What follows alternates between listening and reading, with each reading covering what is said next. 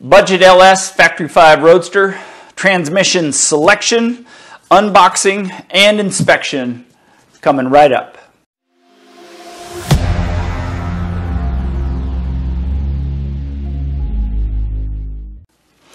So this transmission is from Fortes Part Connection.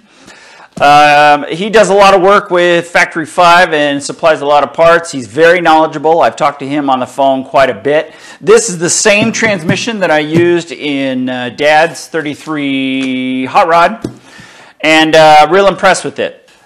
In, in this box, as I mentioned, the GM setup, TKO 500.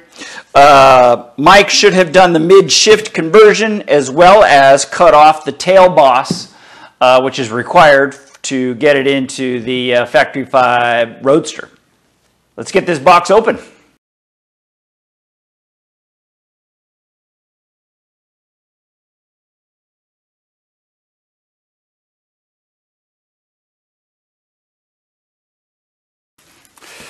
In addition, he talked me into um, a master cylinder kit which is an upgrade to uh, what Factory 5 provides.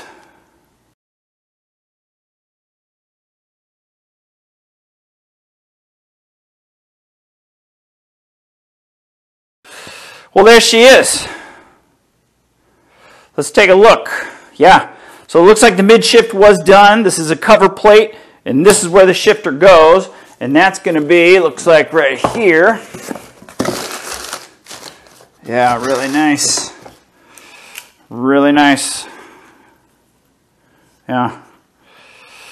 Because in the Roadster, this transmission sits so far back, uh, you'll see a lot of authentic looking ones have that, that shifter that comes up at an angle, but I hear that that's odd. And I just wanted a more traditional uh, shifter. And that's, that's going to be really nice. That is a nice unit there. A lot of grease in there. Got some directions and some hardware. Fantastic. Pleased about that. And I'm pleased that he did this at no extra charge, moving it from the standard position to the mid shift. Really nice.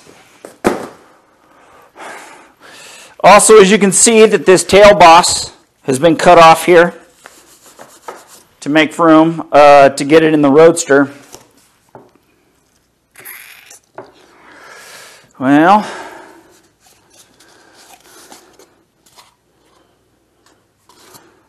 I don't see that pilot bearing anywhere.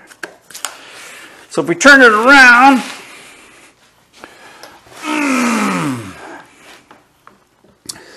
there's the fill plug, drain plug. Um, here's the ID tag. ID tag, part number, serial number. Here's the uh, speed sensor right there come around. Here's our neutral safety, neutral safety switch. And then that's the reverse, reverse light switch right there. It's going to be really nice.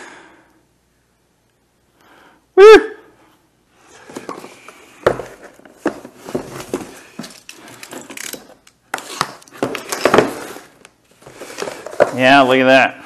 Really nice. Um, you know, that's a dash 2 line from the master to the slave cylinder. Really nice that he does that. There's some stickers. My kids will love these. And that's the, uh, yeah, that's the master, master cylinder right there. Reservoirs. Two reservoirs, huh? I'm thinking the slave cylinder is in the next box. Let's check it out. I'm going to leave those out.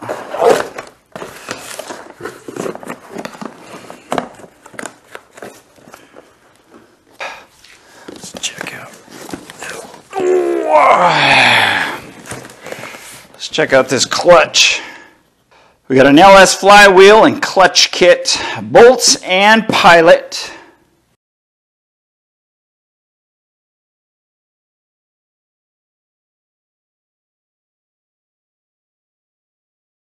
Well, there's that pilot bearing. It's not actually a bearing, it's just a sleeve, but it's radiused like it should be for GM. But uh,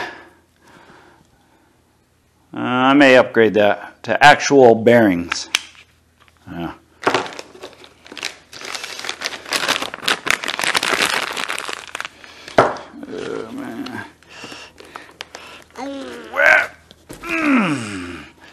Boy, it looks really nice. Really nice. Yeah. Really nice.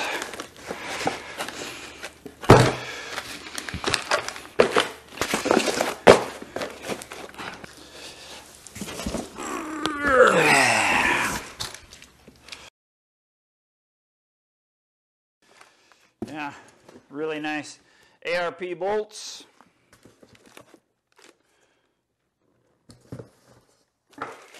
Now look at that dust cover, really nice. Bolt kit for bell housing. Let's check the quality on these.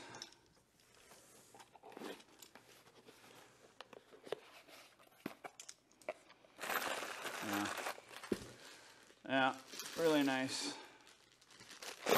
Quality stuff.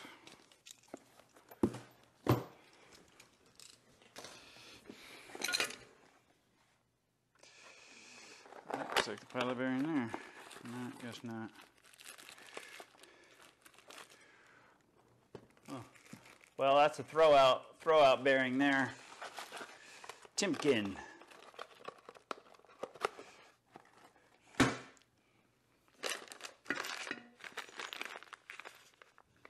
Nah, looks like breather. Yep. There's the rear yoke. That should be 31 spline. Oh, there it is. Well, there's the pilot bearing that I want. And it is radiused for GM. So I got that going for me instead of that stock one. I'll give you a detailed view of that. Look at that. Oh, yeah, that's the cover. Clutch fork boot. So, this is really nice right here.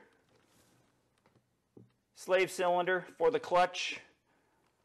We got a nice machined uh, bracket to go on there. Of course, it's got parts falling off of it. That's not good. Looks like we lost a nut in here. Up oh, here they are. Yep, right here. There we go. No harm done. Boy, that's really nice though. Look at that. Yeah. Really like that. It's to be nice. Nice pedal feel on the clutch. Hands are all dirty. Oh man, does it look good.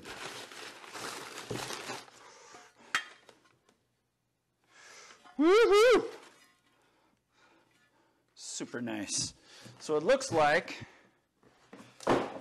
so it looks like Mike had to do a little bit of a little bit of work on that clutch fork there because I see some welding right here. I'll give you uh, uh, up close detail shots of that. Yeah, Lakewood. Yeah, this looks really good. I'm very happy with this. It's going to look really nice next to that. In fact, I'll set up the camera and put them together just to see how it looks and make sure it all matches up. Bing!